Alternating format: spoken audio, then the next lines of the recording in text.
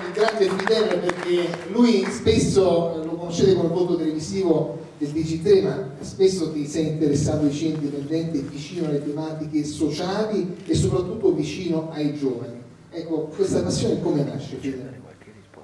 Ma, ho sempre fatto cinema ma più di cinema teatro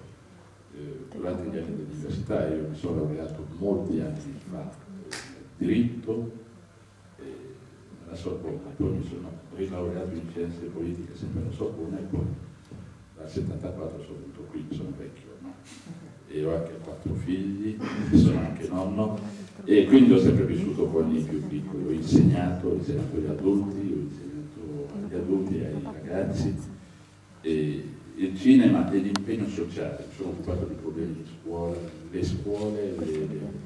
il tempo libero soprattutto, anche perché costa solo costa, ti apprezzano, non costa nulla. E, io voglio dire a tutti quelli che hanno partecipato, soprattutto nelle sezioni giovani e bambini, che tutte le opere sono meritevoli di premio, però fate voi un premio a quest'opera. Grazie Fidel, grazie a voi, grazie ancora all'amministrazione del municipio.